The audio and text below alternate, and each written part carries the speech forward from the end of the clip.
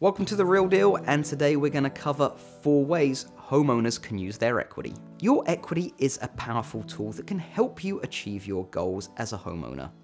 And chances are your equity grew substantially over the past year. According to the latest Equity Insights report from CoreLogic, homeowners gained an average of $51,500 in equity over the past year. If you're looking for the best ways to use your growing equity, here are four options. 1. Use your equity to buy a home that fits your needs. If you're finding you no longer have the space you need, it might be time to move into a larger home. Or, if it's possible, you have too much space and you would like something smaller.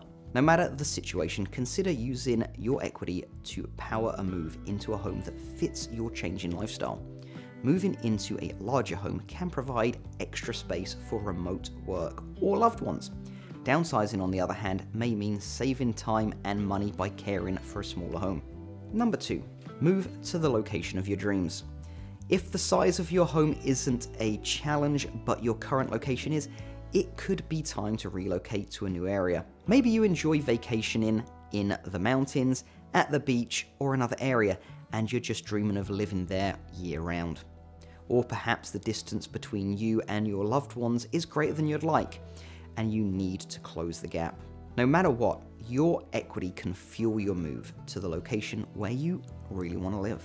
Number three, start a new business. If you're not ready to move into a new home, you can use your equity to invest in a new business venture.